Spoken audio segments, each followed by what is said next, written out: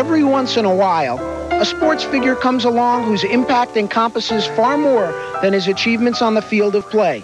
Surely at some point they were made of flesh and blood, yet due to an intricate blend of ability, courage, and charisma, they transcend the boundaries of their physical form and enter the realm of the legendary. Baseball had its Babe Ruth, track and field its Jim Thorpe, harness racing had Dan Patch. So I guess you'd call him an immortal. He was uh, he was something in those days when you'd uh, Mr. Savage was a really a great man, and he uh, he used the horse in his business, which was smart. Dan Patch's exposure through owner M.W. Savage's promotional schemes might have helped spread the word, but Dan Patch was the real thing.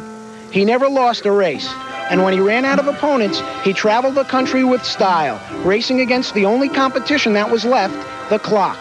To the delight of millions, he beat that too, taking world record after world record. He was five seconds faster than any other pacer probably in his day. And he'd go around and make exhibitions like the Red Mile, and after that he'd go to Memphis, then he'd go to Phoenix, then he'd go to California. He had his own railroad car.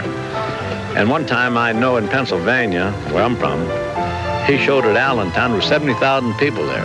Then I've seen pictures of Minneapolis, just a tremendous crowd when he went for a record there. There was something about turn-of-the-century rural America that has been lost in our modern age of advanced technology. It may sound simple, but the nostalgia it evokes is sincere.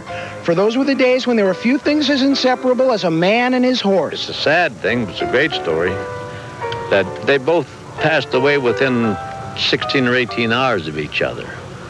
So whether Mr. Uh, Savage died of a broken heart or just, I don't know, it just, uh, just one of those uh, things that the owner and the horse both passed away in the same day practically.